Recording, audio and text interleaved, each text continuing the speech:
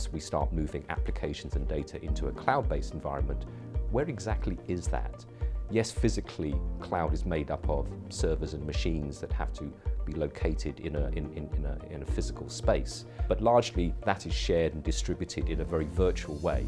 So one of the challenges, I think, is how do we apply um, some of this data protection and regulation to, to personal data uh, to a, a cloud-based environment, and that's something that we need to try and grapple with as well. So we, we primarily partner with AWS uh, to provide our hosting infrastructure. They, they have a global footprint, um, so for instance our clients in Australia, they benefit from using AWS's data centers within Australia.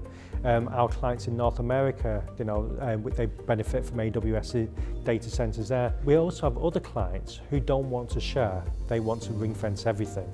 So for those clients, uh, uh, we have dedicated staff. They work out of uh, clean rooms, restricted access clean rooms in highly secure environments, you know, CCTV, security guards, you know, um, ev everything that goes with that. So we can offer, in effect, what's um, a, a shared platform where the clients can share the costs, but we can actually also lower the client's costs, but actually do it in a completely segregated way if the client's got an appetite for actually ring fencing resources um, specific to them. Here in Europe, I mean, we've had a couple of really big pieces of regulation impacting us as, uh, as, as a banking payments industry.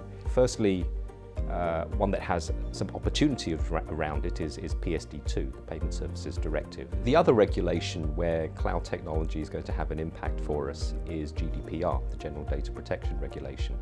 And particularly because when we think about data protection as a requirement, um, one of the things that uh, we have to think about also is the geographic location of where our data actually is. We uh, see a number of data protection, data privacy uh, laws being passed in other countries around the world as well. And several of them talk about data having to be localized um, or, or ring-fenced within their national boundaries. Because we're operating in lots of jurisdictions around the world, right, we, we're also adapting to local regulations in those jurisdictions. So for example, we have quite a number of clients in, in Singapore.